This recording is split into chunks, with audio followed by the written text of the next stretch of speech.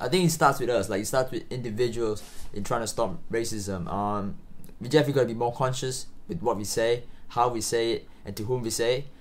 Um, because I mean, words can cut. Like they can cut really bad, and some people take those words literally and they get really hurt by it. So I think the best way to curb racism is to think about what you say, and put yourself in the person's shoe and see how you would feel if that was directed against you as well.